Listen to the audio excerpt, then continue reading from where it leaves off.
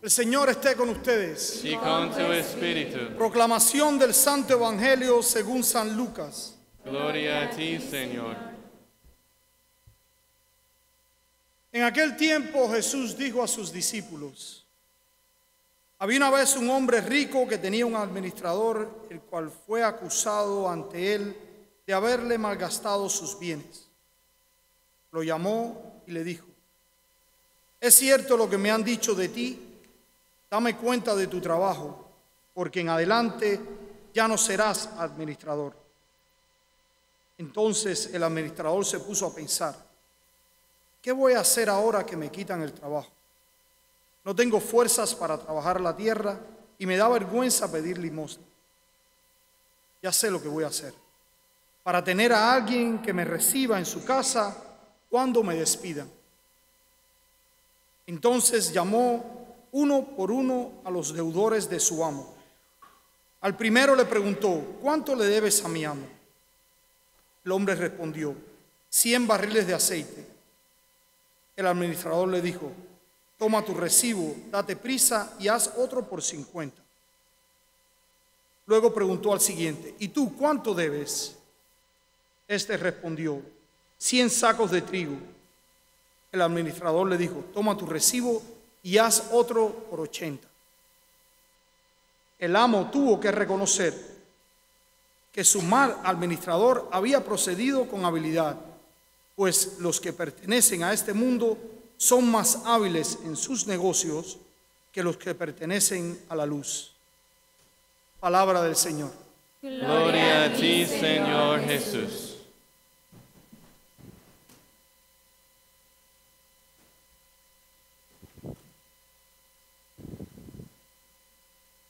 Muy buenas noches a todos. ¿Y cómo están? Bendecidos en la casa del Padre y nuestra Madre Santísima. ¿Qué era la prudencia del mayordomo? Que en el mundo clásico el mayordomo sobrevive aumentando los precios de su amo con su propia ganancia. Y el problema con este mayordomo estaba poniendo demasiado sobre el precio de su amo.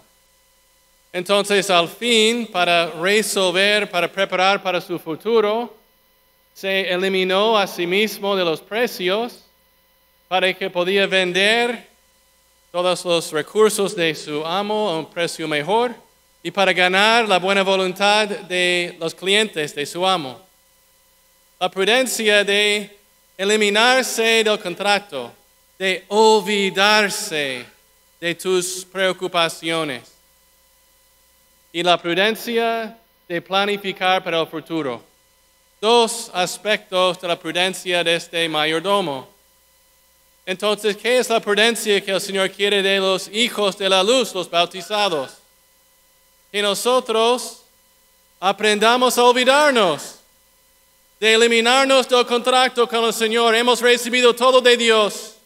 Bautismo, confirmación, el cuerpo y la sangre de Cristo, los dones del Espíritu Santo, los carismas, el amor de nuestras familias. Entonces es momento de olvidar de nosotros mismos y responder como la Santísima Virgen María. Yo soy el siervo, la sierva del Señor. Hágase a mí según tu voluntad, Señor. Esta es la prudencia del reino de Dios. Y no preocuparnos por el pasado, no preocuparnos por un futuro que se viva ahora, que es el reino de Dios. Preocuparnos con Dios y las cosas de Dios. Como la Virgen que después del momento de la anunciación salió con prisa sobre las montañas a Ain en la visitación de su prima. Entonces, una disponibilidad de Dios para olvidar nosotros mismos y preocuparnos para el futuro que es el reino, sirviendo a los demás. Y este camino de sacrificio y servicio es el camino auténtico a la felicidad. Es el secreto del reino de Dios. Es el camino de la luz. Hoy celebramos la vida de un santo, un santo muy italiano, Carlo Borromeo, que vivía un momento muy duro, difícil para la iglesia. Un momento histórico en que el problema mayor era que los obispos no estuvieron con sus diócesis. Como un joven nuevo consagrado obispo, su tío, que era el Papa, mandó Carlo de Roma a Milano para empezar como nuevo arzobispo de Milano. Y él quería que todos aprendieran las cosas esenciales de la fe, empezando con los principios básicos. Entonces la mayoría de nosotros conocemos CCD, que tenemos todavía en nuestras parroquias, que viene de la confradía de la doctrina cristiana, que San Carlo Borromeo fundó en 1568. Imagínense. Después de cinco años de servicio, él tenía esta formación catequética en 740 escuelas. Formó 3.000 catequistas y 40.000 estudiantes en las escuelas dominicales en Milano. Olvidando de sí mismo, cargando la cruz de Cristo y sirviendo, sirviendo al reino de Dios, transformó una iglesia local. Él consejó a los sacerdotes, asegúrese de predicar primero por la forma en que vives. Si no lo hace, la gente notará que dice una cosa, pero vive de otra manera y sus palabras solo provocarán risas cínicas. San Carlo Borromeo era muy duro con los sacerdotes, parecía. Un día cuando entró en una parroquia con muchos problemas, el párroco estaba esperando la visita de su arzobispo.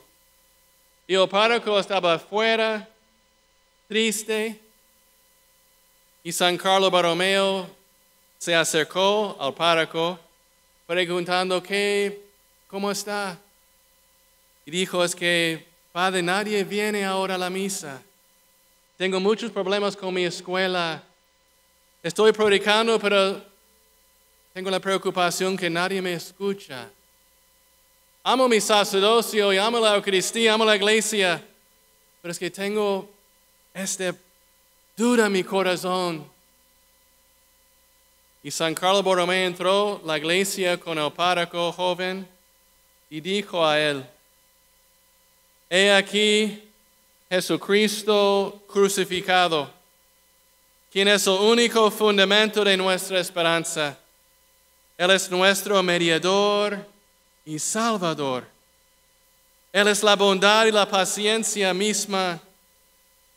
Su misericordia se conmueve con las lágrimas de los pecadores y nunca niega el perdón y la gracia a quienes lo piden con un corazón verdaderamente contrito y humillado. Padre, compartimos nuestras lágrimas aquí en la presencia de Cristo crucificado.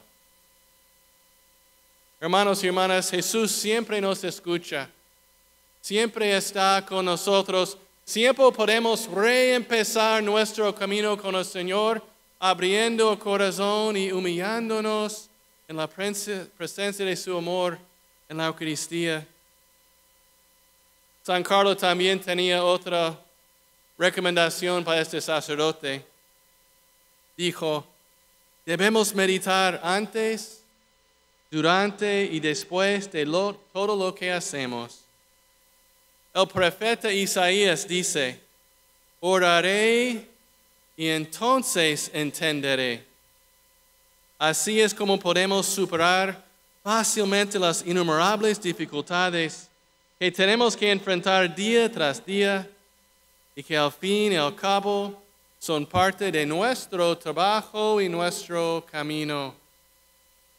Sí, hijo mío, en la meditación, en la oración con el corazón, confiando en la misericordia de nuestro Señor Jesucristo y la intercesión de su Santísima Madre, encontramos la fuerza para hacer nacer a Cristo en nosotros y en los corazones de los demás.